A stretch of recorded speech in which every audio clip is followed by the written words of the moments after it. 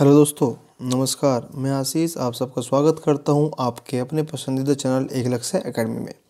सो दोस्तों, आज हम लेकर आए हैं आपके लिए क्लास सिक्स की हिस्ट्री का चैप्टर नंबर ट्वेल्व, जिसमें कि आज हम जानेंगे कुछ इमारतों के बारे में, कुछ पेंटिंग्स के बारे में और कुछ खास किताबों के बारे में। क्योंकि इस चैप्टर का नाम ही है, हम लोग जान सकते हैं बिल्डिंग्स जिसका मतलब है इमारतें पेंटिंग्स जितना मतलब है चित्रकला और बुक्स किताबें। इन सब के बारे में हमें काफ़ी कुछ जानने को मिलेगा इस चैप्टर में। तो आइए शुरू करते हैं चैप्टर की रीडिंग। मारुतसमी एंड द आयरन पिलर। ये एक कहानी है एक छोटे से बच्चे की जो अपाइज है, जो हैंडीकैप है, जो अपने पैरों से नहीं चल पा रहा। और वह देखने गया है आपका आयरन पिलर, जो आपका लो स्तंभ है। और आप सब लोग जानते हैं कि आयरन पिलर है कहाँ पर? यह है दिल्ली में, मैरोली में कुतुब मीनार के पास। ठीक है? आइए। तो मारुत स्वामी वाज सो एक्साइटेड मारुत स्वामी जो था, वह बहुत उत्सुक था, बहुत एक्साइटेड था और बहुत खुश था। His brother had propelled his wheelchair all along the dusty stony path past the towering Qutb Minar and up the metal ramp क्यों? वह खुश क्यों था? क्योंकि उसका जो भाई था वह उसको व्हील चेयर पर बिठाकर व्हील चेयर आप सब जानते हैं, जो पहिएदार कुर्सी होती है व्हील चेयर पर बिठाकर उसको धूल भरे रास्ते से होते हुए, पत्थर, कंकड़ के रास्ते से होते हुए और कुतुब मीनार को पास कर कर वह एक मेटल रैंप मेटल रैंप आपने देखा होगा, जिस पे पहिए वाली चीज़ आराम से ऊपर चढ़ सकती है। मेटल रैंप से होते हुए ऊपर चढ़ गया। इट हैड बीन टफ यह बहुत मुश्किल था but now he was here लेकिन फाइनली अंत में वह वहाँ पहुँच चुका था। In front of the famous iron pillar कहाँ पर? जो आपका बहुत प्रसिद्ध लो स्तंभ है आयरन पिलर है, वह फाइनली उसके सामने था, उसके पास पहुँच चुका था। It was an unforgettable experience और हम कह सकते हैं, ये कभी भी ना भूलने वाला एक तजुर्बा था। ये हम कह सकते हैं कभी भी ना भूलने वाला अनुभव था। किसका? मरुत्सामी का। क्यों? क्योंकि उसके लिए वहाँ तक जाना नामुमकिन था। वह वहाँ तक कभी जाता ही नहीं अगर उसका भाई उसकी हेल्प ना करे। ठीक है दोस्तों? तो ये कहानी थी। अब यहाँ से हमें क्या देखने को मिला कि ऐसे ऐसे मेटलिक स्ट्रक्चर धातु की बनी चीज़ें हमारे भारत में हैं जिसको लोग देखकर बड़े खुश होते हैं। आइए जानते हैं कुछ इस आयरन पिलर के बारे में। पहले तो इमेज देखे दोस्तों, ये इसकी इमेज है। आपने देखी भी होगी कुतुब मीनार में के पास में एक आयरन पिलर है, ये भी देखिए।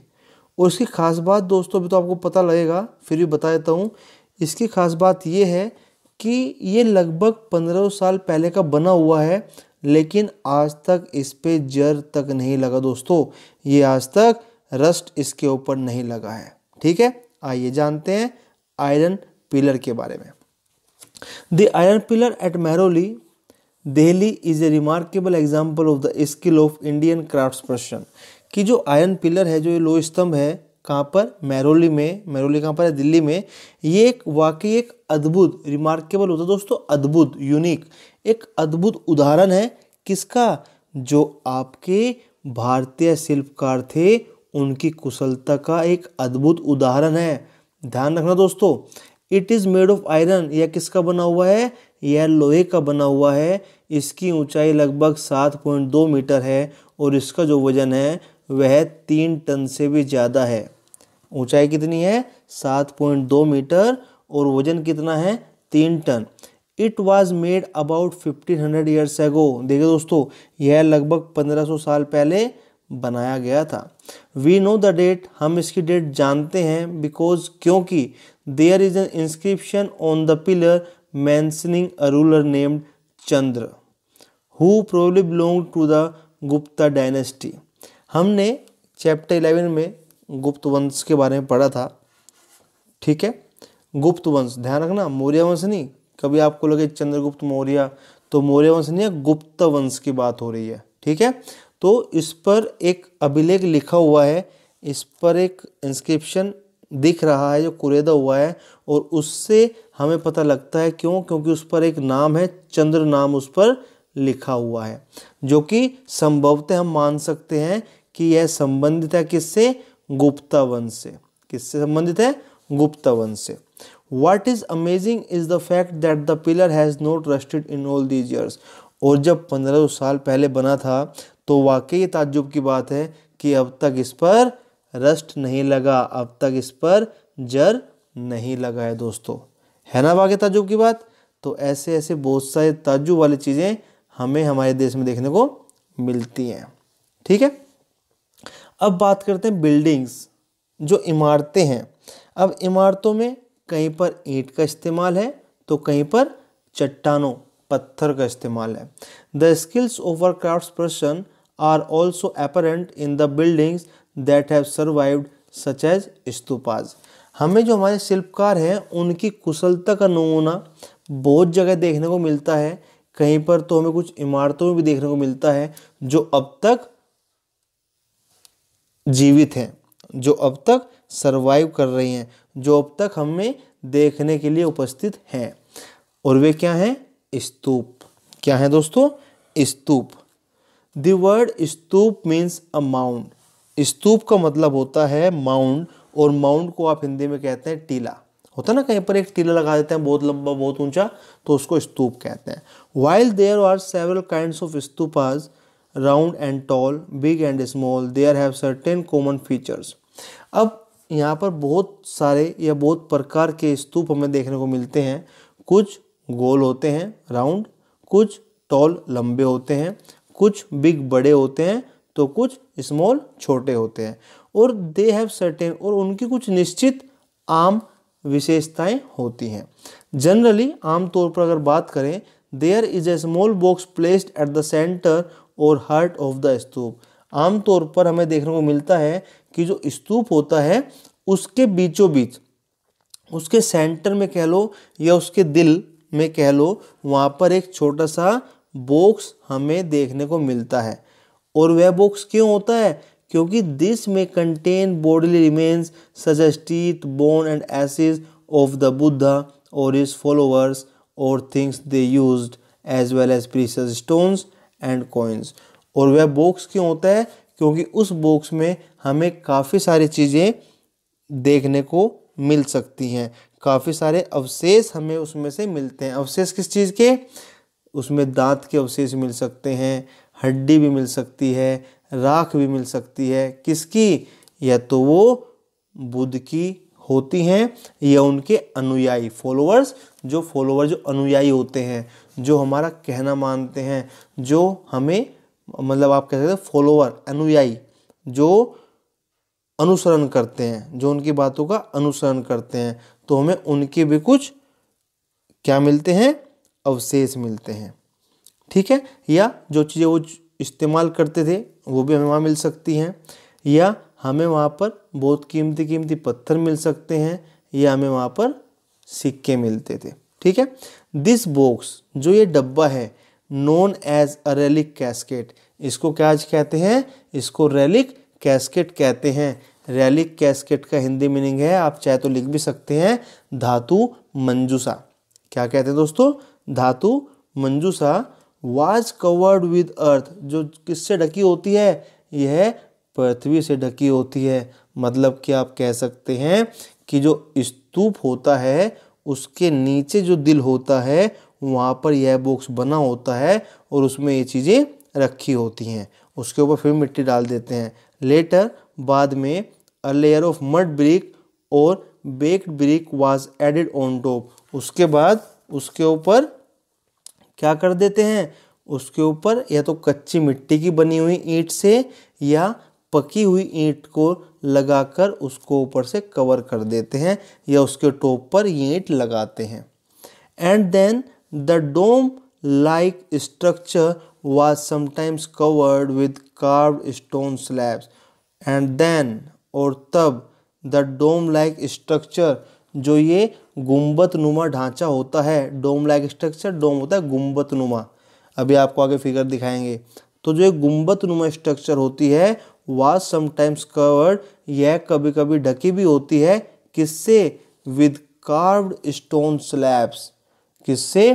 तरासे हुए पत्थरों से। तरासे हुए पत्थरों से कभी कभी ये गुम्बदनुमा ढांचा ढका भी होता है। ठीक है दोस्तों? ये एक पिक्चर आपको दिखा देते हैं। ये देखिए, ये पिक्चर है द ग्रेट स्तूपा ये मान स्तूपा की पिक्चर है जो सांची में, सांची कहाँ पर है? मध्य प्रदेश में, ठीक है? तो आप इससे एक अंदाज़ा लगा सकते हैं कि स्तूप कितने भारी भरकम होते थे। है ना एक डोम लाइक स्ट्रक्चर ये देखिए, एक डोम लाइक स्ट्रक्चर है। ऊपर ये ईंट लगी हुई है, ठीक है? इस तरह के स्ट्रक्चर को हम स्तूप कहते हैं।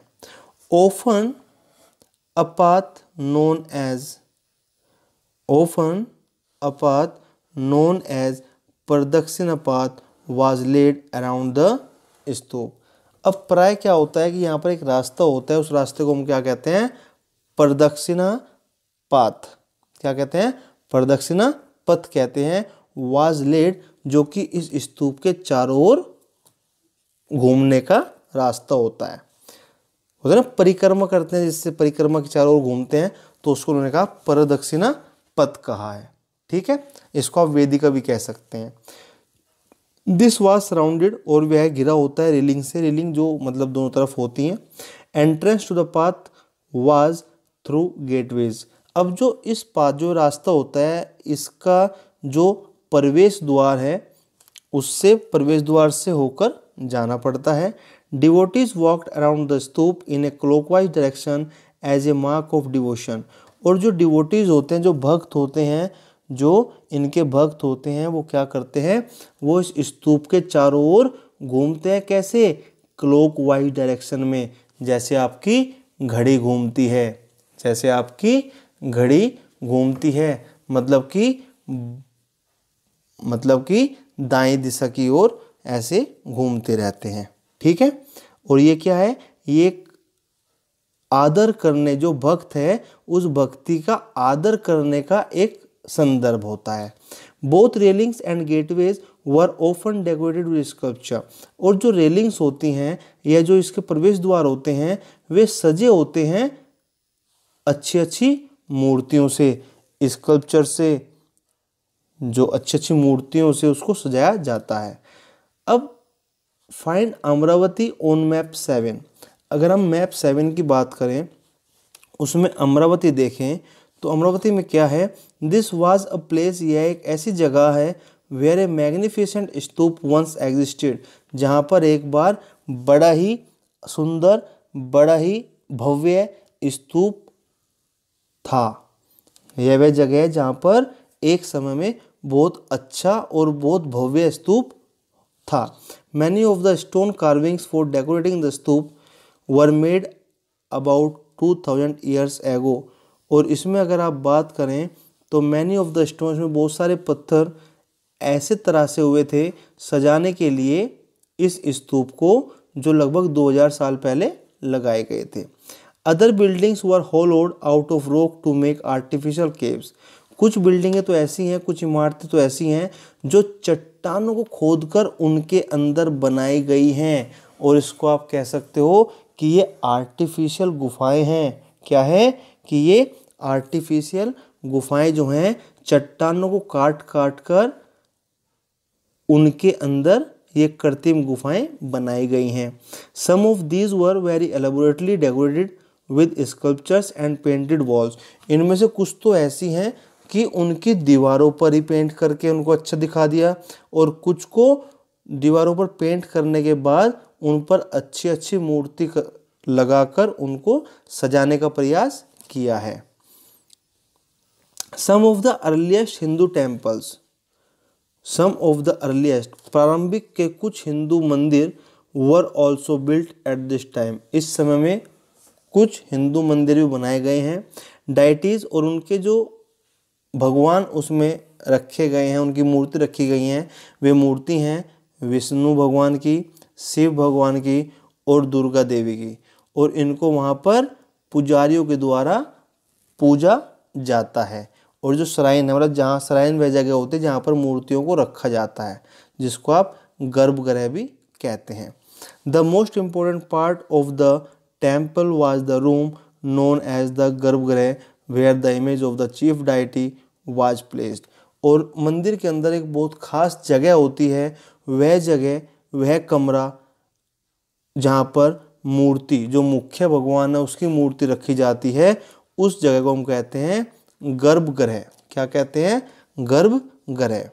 It was here that priest performed religious rituals and devotees offered worship to the deity अब यह वह जगह होती है जहाँ पर प्रिस्ट पुजारी परफॉर्म करता है। मतलब पुजारी करता है क्या? सारे धार्मिक कर्मकांड, सभी धार्मिक अनुष्ठान। रिलीजियस रिचुअल्स सभी धार्मिक अनुष्ठान किसके द्वारा किए जाते हैं? पुजारी के द्वारा। एंड डिवोटीज ऑफर्ड और जो भक्त होते हैं, वो अपने इष्ट देव की पूजा बिल्कुल मन, सच्चे मन से करते हैं। ओफन एज एट भीतर गाँव प्राय अगर बात करें कि भीतर गाँव एक जगह है a tower known as the shikhara भीतर गाँव में एक टावर है, जिसका नाम शिखर है या जिसको शिखर कहते हैं। Was built on the top जो बना हुआ है, बिल्कुल टॉप पर। बिल्कुल टॉप पर। किसके टॉप पर? ऑन द गर्भगृह।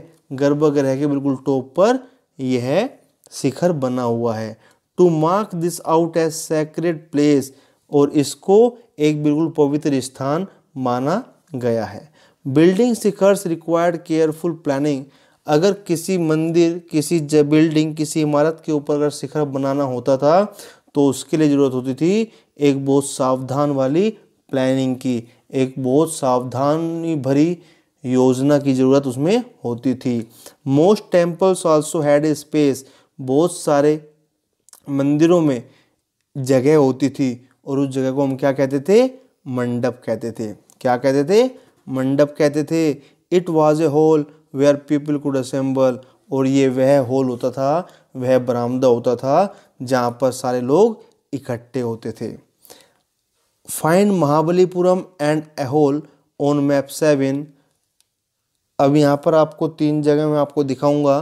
अमरावती, महाबलीपुरम और एहोल ठीक है? Some of the finest stone temples were build in this towns कि यहाँ पर कुछ बहुत सुंदर सुंदर, बहुत सुंदर सुंदर हम कह सकते हैं कि स्टोन टेम्पल्स पत्थरों के, किसके? पत्थरों के मंदिर बनाए गए हैं इन सभी कस्बों में। Some of these are shown where उनमें से कुछ तो यहाँ पर आपको दिखाए भी गए हैं। उनमें से कुछ आपको ये दिखाई भी गए देखिए, ये भी एक मंदिर है। क्या है दोस्तों? ये भी एक मंदिर है। थोड़ा गौर से इसको देखिएगा। ये दुर्गा मंदिर है। ये आपका, जो आपका ये मंदिर है, ये आपका दुर्गा मंदिर है। यहाँ पर लिखा हुआ है, एहोल में, जो लगभग 1400 साल पहले बना था। जो लगभग 1600 साल पहले बना था। ठीक है? अब इसके साथ ही आपको दिखा देते हैं कि एक ये आपका मंदिर है, ये वाला। ये मंदिर आपका महाबलीपुरम में, जिसको आप मोनोलिखित मतलब कि एकात्मिक मंदिर कहते हैं महाबलीपुरम का, जो कि एक बहुत बड़े पत्थर को काटकर उसके अंदर इसको बनाया गया है। ठीक है दोस्तों? और ये, अगर इस मंदिर की बात करें यह मंदिर है आपका भीतर गाँव में, और भीतर गाँव कहाँ पर है? आपके उत्तर प्रदेश में। कहाँ पर है? भीतर गाँव भीतर गाँव में आपके उत्तर प्रदेश में। ठीक है दोस्तों? तो अब चलें आगे on the next topic next topic हमारा है हाउ वर स्तूपाज और स्तूप्स एंड टेम्पल्स बिल्ट कि जो स्तूप थे और जो टेंपल थे, वो कैसे बनाए जाते थे? जो आपके मंदिर होते थे या स्तूप होते थे, वो कैसे बनाए जाते थे? There were several stages in building a stupa or a temple कि ये कह रहा है कि एक बहुत सारे, आप कह सकते हैं, अवस्थाएँ आती थी। बहुत सारी स्थितियाँ आती थी, बहुत सारी अवस्थाएँ आती थी किसी भी स्तूप को बनाने के लिए या किसी भी मंदिर का निर्माण करने के लिए। यूजुअली आमतौर पर किंग्स और queens decided to build these आमतौर पर जो राजा और रानियाँ होती थी, वो निश्चय करते थे, वो निश्चित करते थे इनको बनाने के लिए। क्यों? क्योंकि एक ये बहुत ही महँगी कार्रवाई होती थी। इसमें बहुत खर्चा आता था। भाई, मंदिर ये तो है नहीं कि आपने बस शुरू किया और बना दिया। मंदिर के लिए खर्चा भी चाहिए होता था। खर्चे के बाद उसमें आपको सामान भी चाहिए होता था। उसके लिए बहुत सारे पैसों की ज़रूरत होती थी।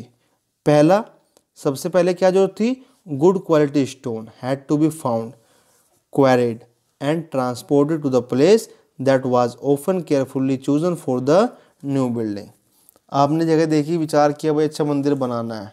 ठीक है? अब जब मंदिर बनाना है तो उसके लिए सबसे पहले क्या चाहिएगा? अच्छी क्वालिटी का पत्थर चाहिएगा। भाई अच्छी विशेषता वाला, बहुत अच्छा पत्थर चाहिएगा। पहले उसको ढूंढो, उसके बाद उसको खोद कर निकालो। खोद कर निकालने के बाद उसको जहाँ है, वहाँ से जहाँ मंदिर बनाना है, वहाँ पर ले जाना भी पड़ेगा। और बहुत सावधानी के साथ। हेयर यहाँ पर these rough blocks of stone had to be shaped and carved into pillars and panels for walls floors and ceilings और उस जगह पर आकर फिर क्या होता था? जो ये पत्थर होते थे बड़े बड़े इनको आकार दिया जाता था। इनको आकार दिया जाता था और इन पर, इनसे पिलर बना दिए जाते थे। पिलर मीन्स जो खंभे होते हैं, पिलर बनाए जाते थे या फिर आप कह सकते हो पैनल फॉर वॉल्स, दीवारों की चौखट बनाई जाती थी।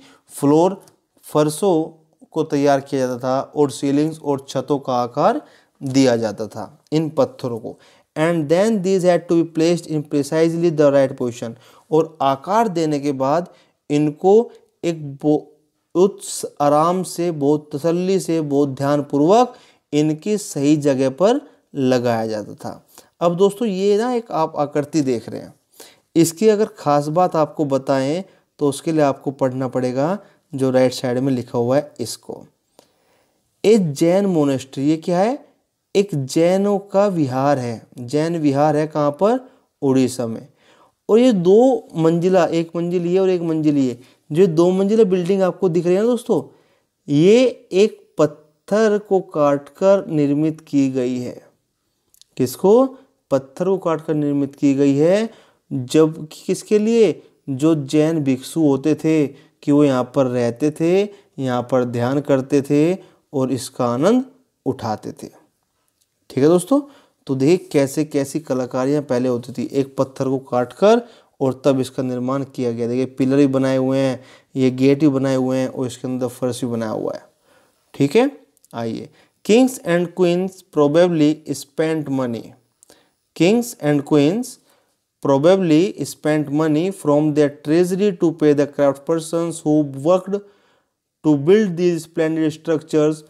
अब जो राजा और रानियाँ होते हैं, वो संभवतः क्या करते थे? इसके लिए पैसा खर्च करते थे। भाई, जो उनके पास धन होता था, उस धन का खर्च राजा और रानी करते थे अपने खजाने से। क्यों?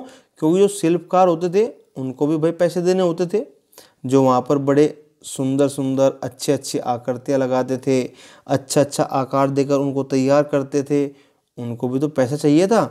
बिसाइड्स इसके अतिरिक्त when devotees came to visit the temple और the stupa they often brought gift which were used to decorate the buildings इसके अलावा क्या होता था कि जो भक्त वहाँ पर आते थे भाई मंदिरों में आते हों या स्तूप में आते हों तो भक्त भी जब आते थे तो, तो अपने साथ कुछ उपहार लेकर आते थे और उप उन उपहारों से उन इमारतों को सजाया जाता था।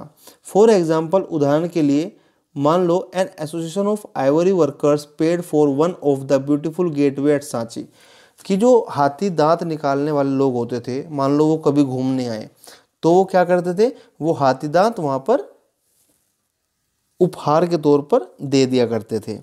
वो लोग हाथी दांत निकाल कर मतलब अपने वहाँ से लाकर और वहाँ पर भेंट करते थे। तो उससे वो सजावट हो जाती थी, दीवारों पर लगाते थे तो उससे वहाँ पर एक सुंदरता बढ़ती थी। Among the others who paid for decoration for merchants farmers garland makers perfumers smiths and hundreds of man and और इनके अलावा क्या होता था? जो वहाँ पर सजावट के लिए देते थे, वो कौन कौन थे? मर्चेंट्स व्यापारी थे फार्मर्स किसान थे गार्लैंड मेकर्स जो माला बनाते हैं, माला बनाने वाले थे परफ्यूमर्स जो इत्र तैयार करते हैं, वो थे स्मिथ्स लोहार या सुनार इनको स्मिथ कहते हैं। वो लोग भी वहाँ कुछ ना कुछ उपहार देते थे। एंड हंड्रेड्स ऑफ़ मैन और लगभग हज़ारों लोग and women who were known only by their names which were inscribed और लगभग हज़ारों लाखों लोग या महिलाएँ हु आर नोन जो सिर्फ़ अपने नाम से जाने जाती थी और उनका नाम इंस्क्राइब किया, खुरेदा गया है, कुरेदा गया है। कहाँ पर? उनके पिलर्स पर खम्भों पर रेलिंग्स पर एंड वॉल्स दीवारों पर। So when you get a chance इसलिए अगर कभी भी आपको वहाँ पर घूमने का मौका मिले, उन इमारतों में जाने का मौका मिले तो याद रखना how seven hundred of people probably worked to construct and decorate them कि कितने हज़ारों लाखों लोगों ने उसमें समय दिया है और उसमें काम किया है उस इमारत को अच्छा बनाने के लिए और उसको इतना अच्छा आकार देने के लिए। सो दोस्तों, ये थी कुछ बातें इमारत की। ये थी कुछ बातें इमारत की। अब ये कुछ बात आ रही है आपकी पेंटिंग चित्रकला की। किसकी दोस्तों? चित्रकला की। Find Ajanta on map seven ठीक है? अजंता भी देखेंगे अभी। अजंता भी देखेंगे मैप सेवन में। This is a place where several caves were hollowed out of the hills over centuries Ajanta वह जगह आपने सुना भी होगा, अजंता एंड एलोरा की गुफाएँ। वे गुफाएँ क्या हैं? वे वहाँ पर चट्टानों में उनको काट काट कर, चट्टानों काट कर वे गुफाएँ तैयार की गई हैं दोस्तों। देखिए कितनी बड़ी कारीगरी आती होगी हमारे लोगों पे उस टाइम, जो चट्टानों काट कर और गुफाएँ तैयार कर देते थे। Most of these were monasteries for Buddhist monks इनमें से अधिकतर तो बुद्ध विहार हैं, जो बौद्ध भिक्षुओं के लिए रहने की जगह होती थी। And some of them were decorated with paintings और उनमें से कुछ चित्रकलाओं से सजाई गई हैं। हेयर आर सम एग्जाम्पल्स यहाँ पर कुछ उदाहरण दिए हुए हैं। As the caves are dark in inside जैसे कि आप देख सकते हैं कि जो ये गुफाएँ हैं, ये बहुत, इनके अंदर बहुत अंधेरा है। इनके अंदर बहुत अंधेरा है। Most of these paintings were done in the light of torches और जो ये पेंटिंग बनाई गई हैं, भाई आप ये पेंटिंग भी देख सकते हैं भी एक पेंटिंग ही है। तो ये जो पेंटिंग बनाई गई है, ये किसकी, जो बैटरी कह लो या आपने पहले देखा होगा दोस्तों कि एक मतलब उधर लकड़ी के अंदर आग जला के वो रखते थे अंधेरों में देखने के लिए तो उसकी प्रकाश में ये पेंटिंग बनाई गई हैं। द कलर्स जो इसमें रंग भरे गए हैं which are vivid even after fifteen years जो पंद्रह सौ साल बाद भी आज बड़े अच्छे चमक रहे हैं, वो कलर आज भी हल्के नहीं पड़े, वो कलर आज भी ख़त्म नहीं हुए। वर्मेडो वे कलर बने होते थे किसके? प्लांट्स एंड मिनरल्स पेड़ पौधों के और खनिज पदार्थों के। ठीक है, किसके? पेड़ पौधों के और खनिज पदार्थों के ये कलर बने होते थे। इसलिए आज पंद्रह साल बाद भी ये ऐसे के ऐसे ही चमक रहे हैं। The artist who created this splendid works of art remain unknown लेकिन वे कलाकार, वे आर्टिस्ट वे कलाकार, वे आर्टिस्ट जो इसके निर्माता थे, जिन्होंने इनको बनाया था, इस भव्य काम को किया था, इस महान काम को किया था, उनको आज भी कोई नहीं जानता। उन, आज भी वो लोग बिल्कुल अनजान हैं, उनका कहीं कोई नाम नहीं है। ठीक है? और लाइट ऑफ़ टॉर्चेस जो आपको बताया था, ये होता है मसाल, आपने देखोगे ना जो नाम उस टाइम माइंड से स्लिप हो गया था तो मसाल की रोशनी में रहकर इन अच्छे अच्छे कलाकारों ने अपना हुनर दिखाया है। ठीक है, ये देखिए, ये भी एक पेंटिंग है। छत में बनाई हुई है दोस्तों, है ना? और ये पेंटिंग है जो दीवार पे बनी हुई है, उस पर रंग भी किया हुआ है इन्होंने। ठीक है दोस्तों सो ये हमारा ट्वेल्थ चैप्टर का एक पोर्शन कंप्लीट हो गया, जिसमें हमने आज बिल्डिंग और पेंटिंग लिया है। इससे नेक्स्ट लेक्चर में दोस्तों हम लोग जानेंगे बुक्स के बारे में। तो आप प्लीज़ इसको बड़ा ध्यान से पढ़िए। हाँ इसमें भी आपको मैप दिखाना है। Wait wait wait. अभी अब मैप देखते हैं। उसमें तीनों चीज़ें हम देखेंगे। आइए। ये देखिए दोस्तों, ये मैप है जो आपका एन में page number one hundred thirteen पर है। अब इस मैप में हमें देखनी है आप कुछ चीज़ें। सबसे पहले हम देखते हैं अमरावती। अमरावती हमने बात की थी अभी जब हम स्तूप की बात कर रहे थे। तो स्तूप में जो स्कल्पचर कुछ शिल्प करते मिली हैं तो उनमें से अमरावती में भी हमें कुछ शिल्प करते मिली हैं। अमरावती कहाँ है? वो देखिए। तो दोस्तों, अमरावती आपका ये रहा। ये आपका अमरावती है। यहाँ पे हमें कुछ स्कल्पचर मिले हैं, जो बहुत अच्छे हैं और जो बहुत, आप कह सकते हैं कि कीमती भी कह सकते हैं और हमें उस समय की जो क्राफ्ट पर्सन थे, जो उस समय के शिल्पकार थे, उनके हुनर के बारे में कुछ हमें जानकारियाँ बताते भी हैं। ठीक है? इसके बाद हमने पढ़ा था अभी, जहाँ पर हमने मंदिर, जो दुर्गा मंदिर था, एहोल में और महाबलीपुरम में तो उसके लिए मैं आपको दिखाता हूँ। ये देखिए, ये आपका है महाबलीपुरम। ये आपका है महाबलीपुरम और ये आपका है एहोल। ठीक है दोस्तों? देखिए, आपको दिख रहा है कि ये अमरावती है, ये महाबलीपुरम है और ये आपका एहोल है। इसके बाद हमें देखना था इसमें अजंता। इसके बाद इसमें दोस्तों हमें देखना है अजंता। तो अजंता भी देखिए, ये रहा आपका वेरी गुड ये रहा दोस्तों अजंता आपका। ठीक है? ये चार चीज़ मैंने आपसे प्रोमिस किया था मैप में दिखाने के लिए, अमरावती, महाबलीपुरम और एहोल। अमरावती में हमें क्या मिला था? स्कल्पचर महाबलीपुरम और एहोल में हमें मिले थे स्तूप, बड़े अच्छे अच्छे स्तूप थे और अजंता में गुफाएँ बताई गई हैं और उन गुफाओं के अंदर जो पेंटिंग्स हैं, उनका ज़िक्र यहाँ पर किया गया है। ठीक है दोस्तों? तो ये हमारा आज का जो टॉपिक था वो ख़त्म हो गया। अगर इसमें आपको कोई समस्या है तो दोस्तों आप मुझे कमेंट में लिख सकते हैं या व्हाट्सएप पे भी आप लोग मुझसे पूछ सकते हैं। टेलीग्राम पे भी हमारा इस नाम से चैनल है। आप चाहे तो उसको ज्वाइन कर सकते हैं। वहाँ भी आपको अच्छी अच्छी इन्फॉर्मेशन मिलती रहती है। ठीक है दोस्तों, सो नमस्कार, धन्यवाद, राम राम, मिलते हैं अगली वीडियो में।